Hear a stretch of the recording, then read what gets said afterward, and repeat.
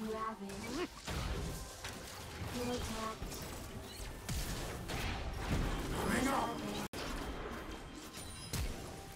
Ah, the sweet smell of science.